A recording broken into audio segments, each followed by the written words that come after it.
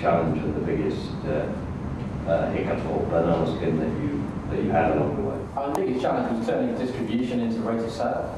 We, we were getting distribution and we had the, I guess, the, the following wind that was coming with the, with the organic movement, which helped us. Um, but the reality is we were not selling particularly well. So it was convincing the trade that we were a commercial proposition rather than just an on-trend brand.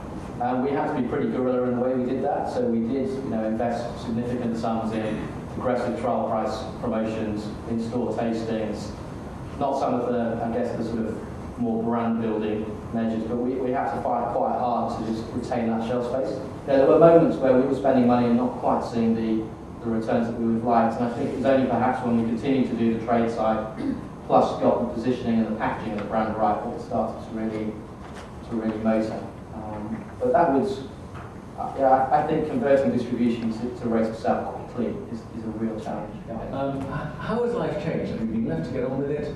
And what's your feeling about an entrepreneurial spirit being dashed or left independent or encouraged within a larger corporation? With the way we operate, we're still in the same office that we were before. We have a, a board of directors that still comprises Craig Sams and William Kendall. We were, we were two of our, our board before, and myself. Um, so we run autonomously. The biggest difference, to be honest, um, is the financial reporting. In the, before, the financial numbers that we produced were, were excellent, they're highly accurate, but um, we would do the month figures when we were ready and when they were accurate, whereas now we kind of have to do them almost the next day as our results are consolidated as part of a, a bigger group. So there is more reporting. In terms of interference on the brand and the marketing, there hasn't really been any.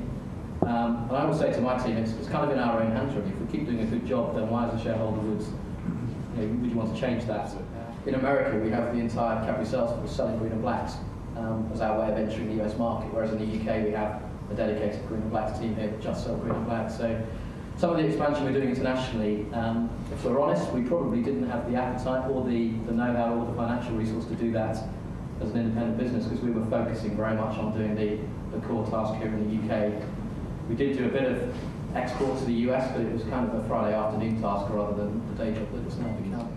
We have a brand that's gaining momentum and is growing. It's still a small business now.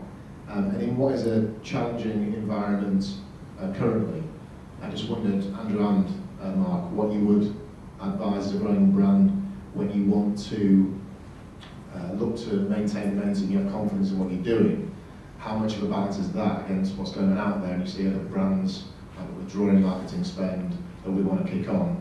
How do you sort of balance that equation?